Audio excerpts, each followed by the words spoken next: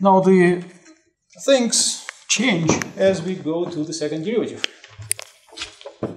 So let's look at the second derivative.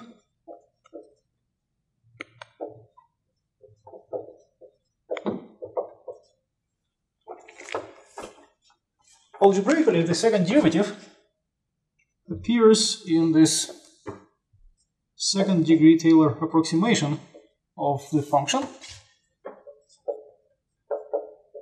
f of t0 plus f prime of t0 times t minus t0 plus f double prime of t0 over 2 times t minus t0 squared.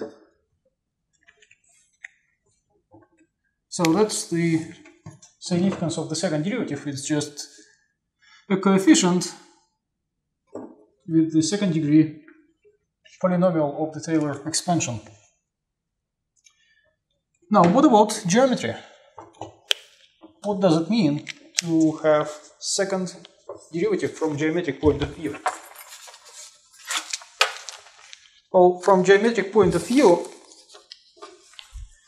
we would like to approximate the given trajectory by something simple of degree 2. Now, the obvious thing of degree 1 was the tangent line.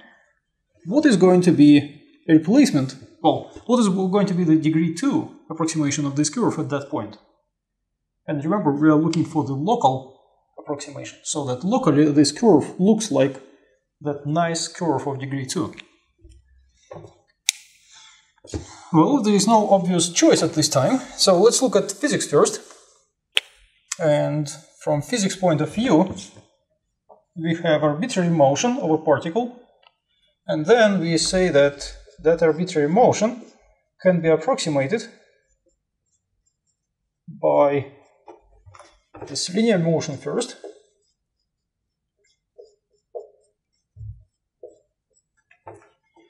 plus what? Well, of course, of course, Taylor approximation says that it should be that term. And what is the significance of that second derivative from physics point of view? Well, that is the acceleration. If this was the velocity, which is the, the first derivative, then acceleration is also a vector and that acceleration is simply the second derivative of the position function. So the significance of the second derivatives uh, in case of motion of a particle is that those represent forces or accelerations. Uh, so,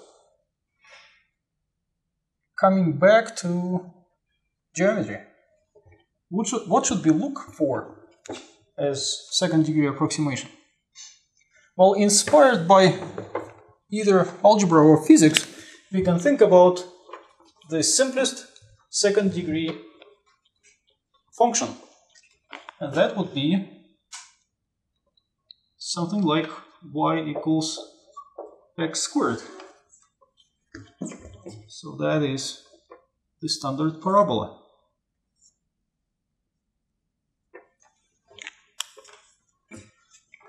What about second degree approximation from physics point of view? What if we look at the motion that is equal to that second degree thing? Or in other words, what if we consider the acceleration being constant?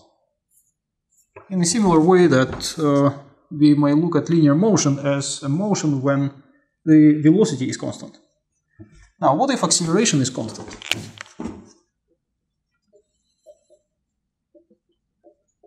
What can we say about the motion in that case? Well, we have a very natural example that we face every day of particles moving under constant acceleration. The gravity acceleration is, well, can be assumed to be constant to some extent locally. And uh, we know that any particle moving under the constant acceleration will have trajectory of parabola, right? This projectile trajectory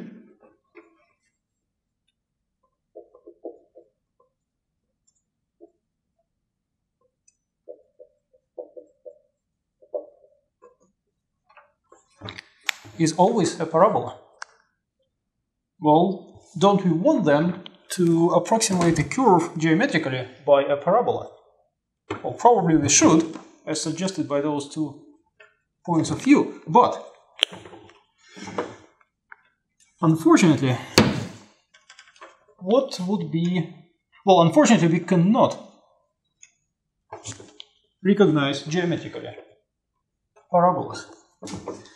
So to illustrate my point, I would represent two, I would draw two parabolas here, and I will take this piece of that parabola and this piece of that parabola, and I will ask you to distinguish these two pieces, just in case I erase the rest of the parabola.